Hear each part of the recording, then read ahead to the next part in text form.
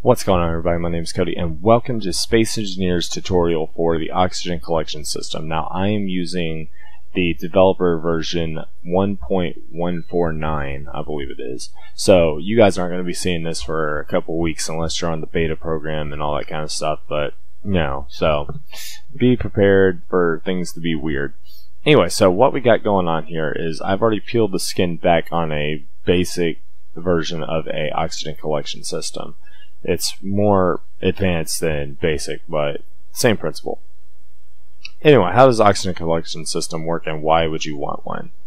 First of all, the why is if you're in a ship that spends part of its time in space and part of its time in atmosphere, and you don't want to waste your hydrogen or ice on oxygen, you can just have the hydrogen stored in tanks and then come back to Earth or wherever refill your hydrogen supply or whatever, and uh, not waste the weight and size and everything getting into space and leaving space.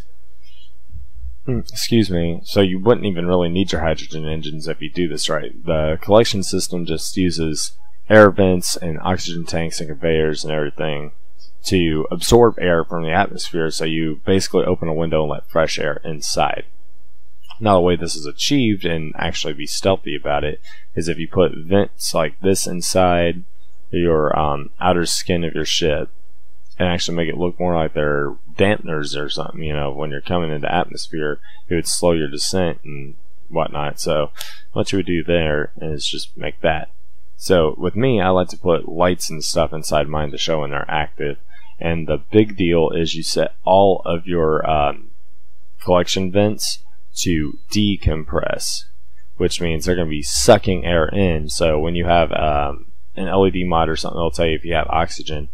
Um, it'll say you're leaking, which is actually what you want it to do. If it's pressurized, then that means you sealed it and you did something a little bit off and it's trying to pressurize where it's trying, where it shouldn't be trying to pressurize. If that makes sense. So the plant's not going to lose pressure so you're going to want to suck in through this system. Now, each one of these vent uh, these airtight doors are meant to act as vent covers. When the system's actually active and the lights are running and everything, these will open, letting the air flow into this uh, pipework and into the tanks, where then it'll also pass through the tanks and pressurize every area of the ship that has a air convection system. So that's a good thing. So right here we have a just a passageway to act as a vent straight into that one. Same thing here. These actually collect uh, via this network right here. So it goes in, bang, goes through, hits that one, goes through this one as well. It channels in, pressurizes this area to where you don't have to worry too much. Uh, you can always extend it if you really want to. And uh, at the end of the day, you got what I'd say two, four, six different air vents sucking all at once.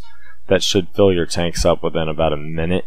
I would say uh, it would be less than a minute probably for having 10 tanks, which would, for a ship that's only about the size of maybe 300, 400 meters, that would be more than enough. But if you want to actually be an oxygen supply vehicle, you can actually have more than that. Like, economic way to do it just have a small reactor charge up batteries and fly into a hangar that needs atmosphere for some reason, something out of a space station. You can just dump everything in and fill it that way and not waste a single piece of ice. So the way this would work is when you set everything up, you're going to have a timer block. You're going to have all these set on a loop to where when you push the timer block, it automatically fires, turns all this stuff on, opens these vents, turns the lights on, and then makes sure that you're pressurized and everything. So you can also set it to where it depressurizes or pressurizes.